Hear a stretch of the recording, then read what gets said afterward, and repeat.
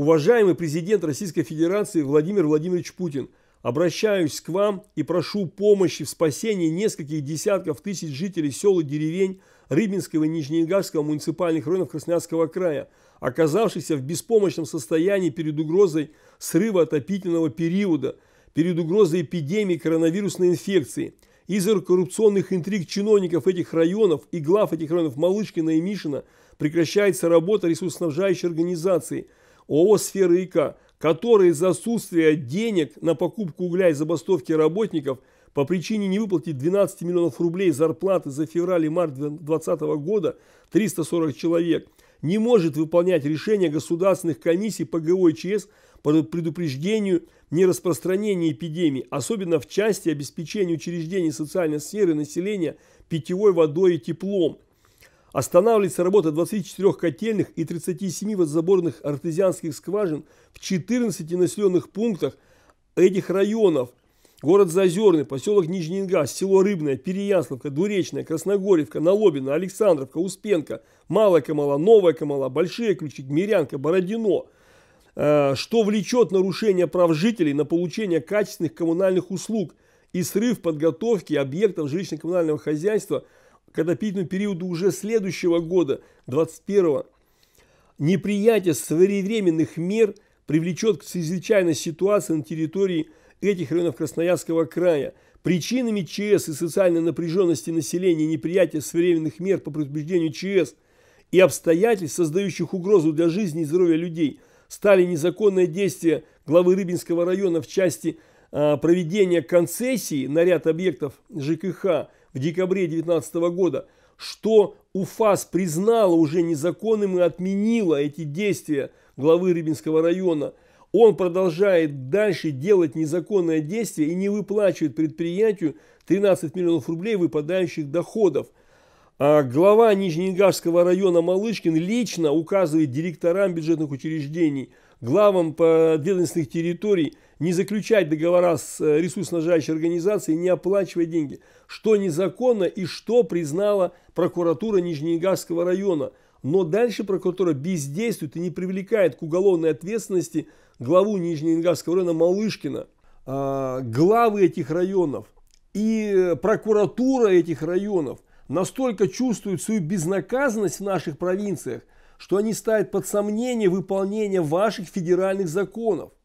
Недавно на светлом совещании в Министерстве ЖКХ Красноярского края э, было уточнено, что предприятия сферы ИК действуют законно в соответствии с рядом федеральных законов Российской Федерации.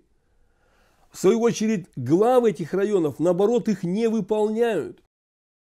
Вернемся к высказываниям главы района Нижнеингарского Малышкина Петра Александровича при начальнике, прокурор района, то есть Петр Александрович вводит вас в заблуждение, говорит реальную ложь, а, сети стопроцентный взнос установлена прокуратурой года три назад, а, в том числе МЧС, прокуратура установлено э, умышленное уничтожение гидрантов именно администрации поселка Нижний Ингаш, ну никак не нами абсолютно. И значит, мы вот сейчас обращаемся к прокуратуре еще раз проверить вот эти данные, которые глава района сообщает э, министерству, то есть тем самым ставя вас вот в такое ложное это самое. А почему пришлось нам передать это? Мы с... Давайте я доскажу, я же вас не перебиваю. Конкретнее, конкретнее. Вы сами только что, только что сказали, что все законно. Вы сейчас нам что, руки собираетесь выламывать, что ли? Я вам еще раз объясняю. Все ваши замы, министры в курсе, что РКК не в состоянии это делать. Тем летом мы пытались с вашей помощью договориться с энергосбытом Давайте реструктуризацию, мы дальше нормально работаем. То есть Министерство ЖКХ не предприняло никакого, будем говорить так, э, действия в отношении, вот сегодня результат, ну, будем говорить так, вашей неработы, вашей в том числе, на меня смотреть ничего не нужно. Теперь в том году мы на самом деле неоднократно обращались, это все запротоколировано. Давайте реструктуризируемся, и вот такой ситуации не случилось бы. Сегодня очень важно, вы почему говорите только про уголь? Уголь это одна маленькая составляющая, особенно отопительный период уже заканчивается, угля нужно, ну может тысяч на 600 на оба района. Дело в том, что 17 миллионов задержка по невыплате заработной платы. Вот это самое главное сегодня в этом районе. У Петра Александровича меня то ли информация нет у прокурора, то ли они от вас это скрывают. Не выплата Петром Александровичем выпадающих за два месяца вообще никто ничего не платит. Мы по 3, по 5 тысяч рублей выдаем авансы за февраль, за март. 340 человек. Это главное. Ну, уголь, ладно, котельная становится. Теперь смотрите.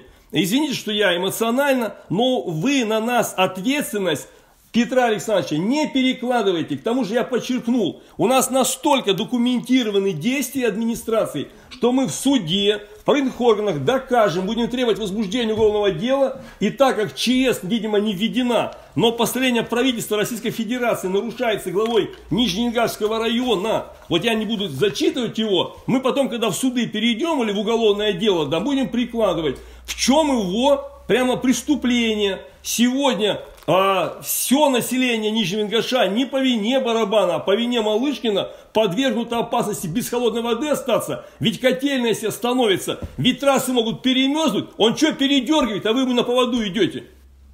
И это уже было один раз так в этом районе, чего допустил Малышкин Петр Александрович, обанкротив два предприятия и причинив огромнейшее бедствие а, населению Римского, Нижнеградского района. Еще он сегодня нам обвиняется, что он берет умышленно, зна... дайте я доскажу, он берет умышленно, зная что, президент Российской Федерации установил, губернатор Красноярского края, и сегодня сорвать, я вот это ссылаюсь на постановление, Российской Федерации, правительства 794 единой государственной системе при вот этом ЧСике. Здесь все прописано. Петр Александрович совершает грубейшее преступление, то есть он начинает саботаж делать в населении. И в газете Победа берет их население, обращаясь, что мы незаконно здесь находимся. Завтра население перестанет эти копейки платить. Мы всем дали задание перерасчет сделать, потому что услуга некачественная. Мы в обоих районах реально перерасчет делаем.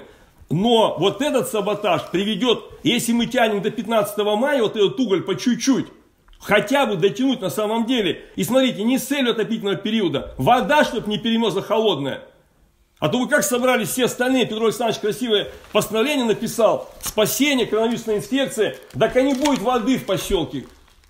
Эпидемиологическая ситуация усилится же. Вы как прокурор, да, не надлежащий, я заявление же у нас написал кривому прокурору, исполняйте свои обязанности и не пресекайте незаконное действие главы администрации. Вам только что сослались на федеральные законы. Не нужно ничего нам согласовывать, ни по ресурсоснажающей организации, вообще ни почему. Сети бесхозно много лет, вы сами все знаете. Здесь бардак вы не пресекаете. Сейчас вот министр будет слышать. Я ничего не допускаю. Петр Александрович не платит организации, допуская тем самым вот этот коллапс. Мы обратились в Министерство политики раз, все коммунальные объекты, все коммунальные объекты имеются с РИК, и сети и так далее. Только что Рисом объяснял, что все есть законодательно подтвержденное. То есть только нет желания у главы района и почему-то противодействия законодательству федеральному. И мы сидим обсуждаем.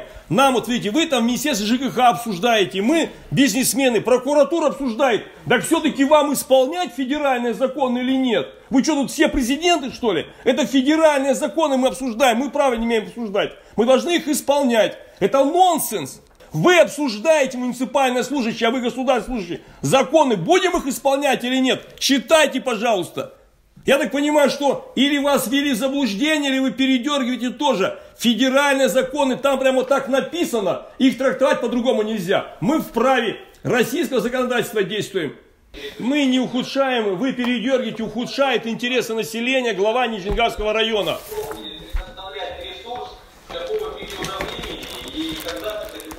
Прокуратура Нижнеградского района установила, вот письмо есть, что фактически серый оказывает вы подписали это.